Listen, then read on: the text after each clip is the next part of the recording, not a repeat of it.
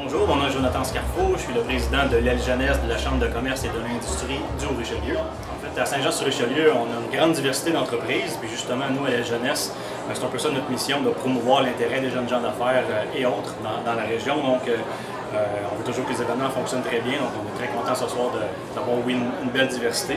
En fait, il faut avouer que la Chambre de commerce et l'industrie du Richelieu est vraiment une chambre très dynamique, donc on ne peut pas se plaindre du nom. Il y a beaucoup d'activités pour justement représenter cette diversité-là dans la région. Donc à ce niveau-là, et la jeunesse et la Chambre en général, euh, oui, je pense qu'ils font un, très bon travail pour ça.